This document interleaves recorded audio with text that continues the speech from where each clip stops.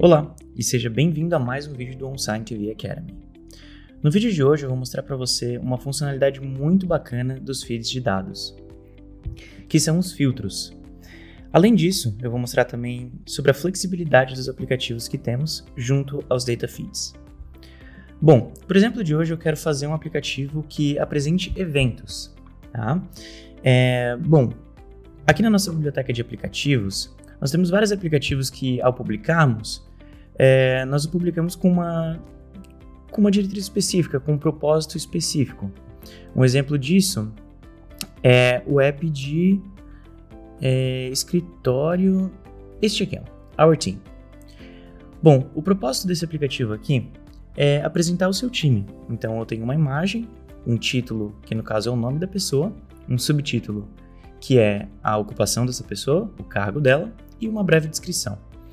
Com o Data Feeds, eu posso utilizar esse aplicativo para qualquer propósito que eu queira, que tenha, que, que me sirva, né? Então, bom, para entender se esse aplicativo vai me servir, eu posso clicar aqui em requisitos dos feeds de dados. E eu vou ter esse drop-down aqui com as informações desse aplicativo. Quais são os campos que esse app usa?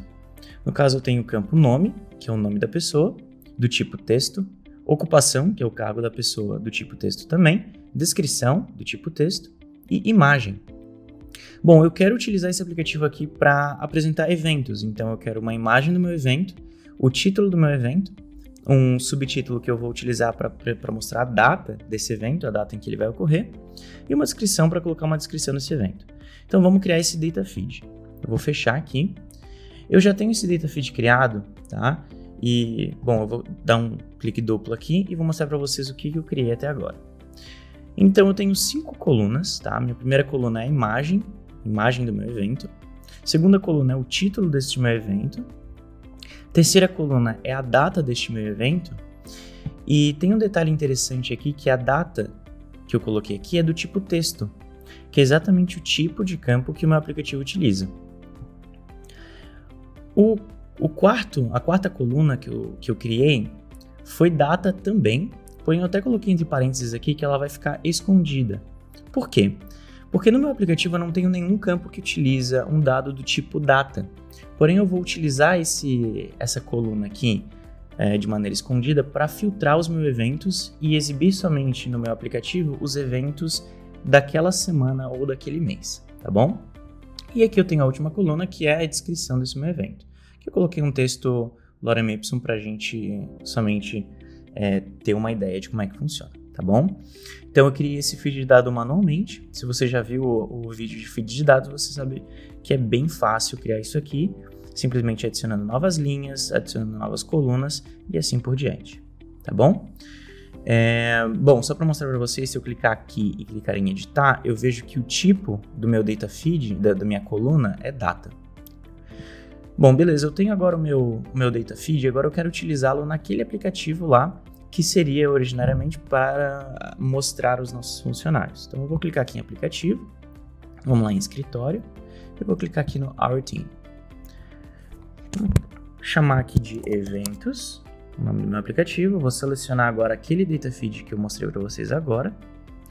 E agora eu vou uh, casar as colunas do meu data feed com os campos que o app utiliza. Então, em nome, eu vou colocar o título do meu evento. Em ocupação, que seria o cargo da pessoa, que é um subtítulo, eu vou colocar a data do meu evento no tipo texto. Vocês podem ver que ele nem deixa eu selecionar é, a coluna data, que é do tipo data, né, que eu coloquei para ser escondida. Isso porque ele pede um campo do tipo texto. E aqui na descrição vou colocar a descrição do meu evento. Imagem, eu vou colocar a minha imagem. Tá? Agora, a funcionalidade mais bacana que eu quero mostrar para vocês aqui do Data Feed são os filtros. Aqui embaixo, nessa página, nessa, nessa barrinha, eu tenho algumas opções. Primeiro, eu posso selecionar um intervalo de dados que eu quero pegar daquele meu Data Feed. Então, se eu tivesse mais de 20 linhas, eu teria que vir aqui e modificar esse número para pegar mais de 20 linhas. Né? E aqui eu posso também ordenar esse meu, esse meu data feed de alguma forma específica. Então eu posso vir aqui selecionar o meu campo uh, data que está escondido, ou seja, embora eu não esteja selecionando ele em nenhum campo do meu aplicativo, eu ainda posso utilizá-lo para fazer filtros ou até mesmo ordenar. Então posso selecioná-lo aqui e ordenar como ascendente, tá bom?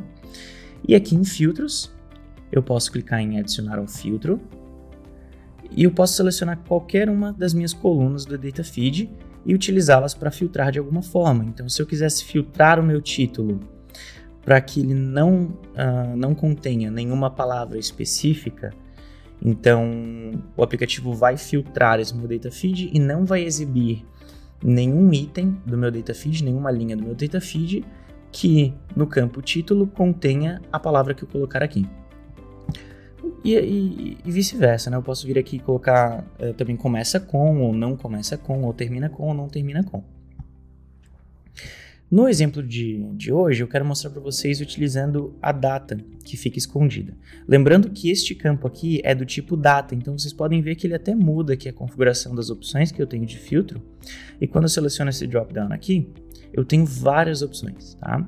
Então eu posso filtrar por uma data específica, então é determinada data, não é determinada data, é antes de uma determinada data, após, nos últimos é, cinco dias ou semanas ou mês, nos próximos, hoje, hoje independente do ano, nesta semana, nesta semana independente do ano, neste mês e neste mês independente do ano.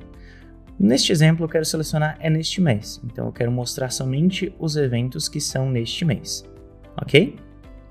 Então eu clico em confirmar e eu posso clicar em visualizar. No datafeed que eu criei, eu tinha quatro eventos em julho e um evento em agosto.